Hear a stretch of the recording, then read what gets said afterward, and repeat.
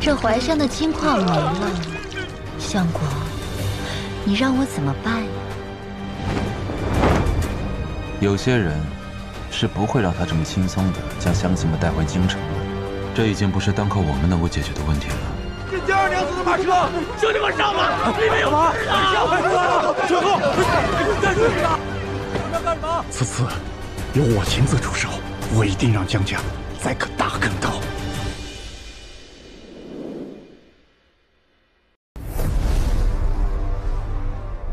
长安门登高台，今日城门击鼓，为薛怀远伸冤。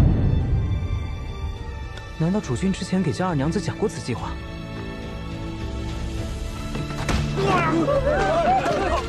没有，但是他们心照不宣吧？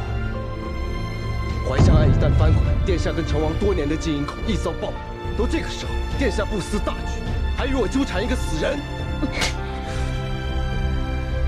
请清风送鼓声，请苍天见忠奸。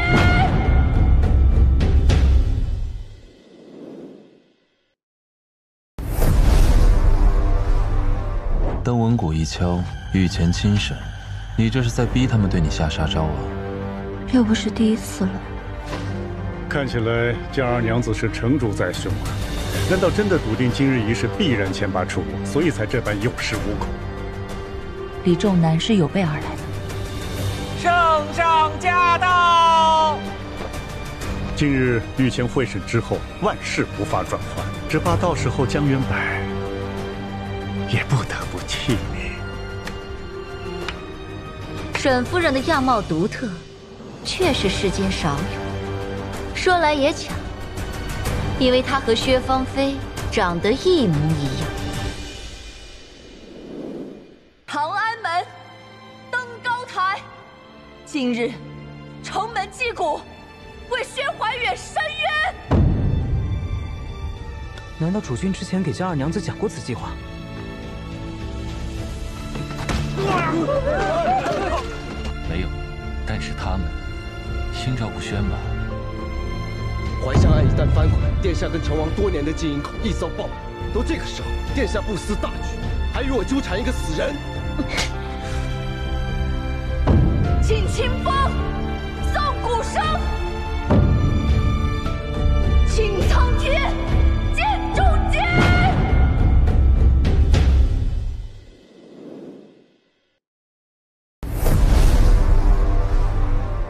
登闻鼓一敲，御前亲审，你这是在逼他们对你下杀招啊？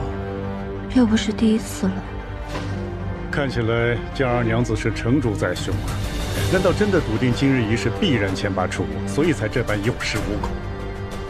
李仲南是有备而来的。圣上驾到！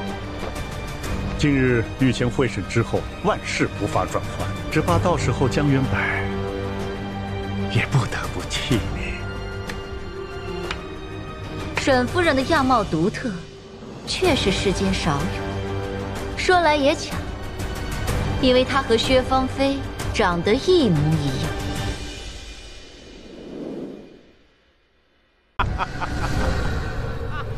薛县令还在冯玉堂的手上。你信我吗？金矿，干嘛呢？快点！薛家三口，长公主，这一切都有关联。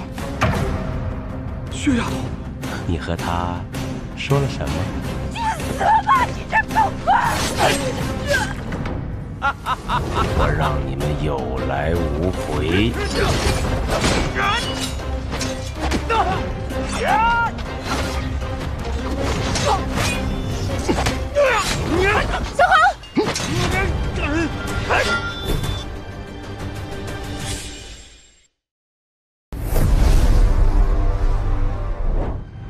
江离劫走刑部死囚薛怀远，这个冤我一定要伸。抓人！上去！去！放开！别动！放开！